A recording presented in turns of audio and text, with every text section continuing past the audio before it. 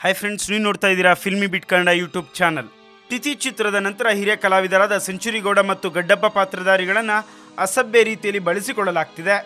Double meaning ಡೈಲಾಗ್ಗಳ ಮೂಲಕ ಕೆಟ್ಟದಾಗಿ ಬಿಂಬಿಸಲಾಗ್ತಿದೆ ಎಂಬ ಆರೋಪ ಕೇಳಿ ಬರ್ತಿತ್ತು. ಆದರೆ ಹಳ್ಳಿ ಜನ ಒಳ್ಳೆ ಜನ ಎಂಬಂತೆ ನಿರ್ದೇಶಕರು ಹೇಳಿದಂತೆ ಅಭಿನಯಿಸುತ್ತಿದ್ದೇವೆ ಎಂದು ಸೆಂಚುರಿಗೌಡ ಮತ್ತು ಗಡ್ಡಪ್ಪ ಮುಗ್ಧತೆ ತೋಡಿಕೊಂಡಿದ್ರು. ಆದರೆ ನನ್ನನ್ನು ಅಸಭ್ಯವಾಗಿ ಬಿಂಬಿಸಿದ್ದಾರೆ.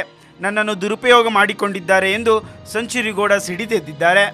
ಇನ್ಮುಂದೆ ನನ್ನನ್ನು ಅಸಭ್ಯವಾಗಿ ಬಳಸಿಕೊಳ್ಳುವ ಚಿತ್ರಗಳಲ್ಲಿ ನಟಿಸುವುದಿಲ್ಲವೆಂದು ಹಾಲು ತುಪ್ಪ ಚಿತ್ರತಂಡದ ವಿರುದ್ಧ ಕಿಡಿಕಾರಿದ್ದಾರೆ. ಹೌದು, ಸಂಚಿರಿಗೌಡ ಅಭಿನಯಿಸಿರುವ ಹಾಲು ತುಪ್ಪ ಚಿತ್ರದ ವಿರುದ್ಧ ಬೇಸರ ವ್ಯಕ್ತಪಡಿಸಿದ್ದಾರೆ. ನನ್ನನ್ನು ಹುಡುಗಿಯರೊಂದಿಗೆ ಅಸಭ್ಯವಾಗಿ ನೃತ್ಯ ಮಾಡಿಸಿದ್ದಾರೆ. ದ್ವಂದ್ವಾರ್ಥದ ಸಂಭಾಷಣೆ ಹೇಳಿಸಿ ನನ್ನನ್ನು ದುರುಪಯೋಗ ಮಾಡಿಕೊಂಡಿದ್ದಾರೆ ಎಂದು ಚಿತ್ರದ ಸುದ್ದಿಗೋಷ್ಠಿಯಲ್ಲಿ ಚಿತ್ರತಂಡದ ಸಮ್ಮುಖದಲ್ಲೇ ಸಂಚಿರಿಗೌಡ ಆರೋಪಿಸಿದ್ದಾರೆ. ಮುಂದಿನ ದಿನಗಳಲ್ಲಿ ಇಂತಹ ಪಾತ್ರಗಳಿಂದ ನಾನು ದೂರ ಉಳಿಯುವುದಾಗಿ ಮಾಧ್ಯಮಗಳ ಮುಂದೆ ಸಂಚಿರಿಗೌಡ ಹೇಳಿದರು. ತಿಥಿ ಚಿತ್ರ ಬಂದಾಗ ನನಗೆ ಅಭಿಮಾನಿಗಳು ಹೆಚ್ಚಿದ್ರು, ಆದರೆ ಇದೀಗ ಜನ ಕಡಿಮೆ ಆಗ್ತಿದ್ದಾರೆ. ನನಗೆ ಇದು ತುಂಬಾ ಬೇಸರ ತಂದಿದೆ.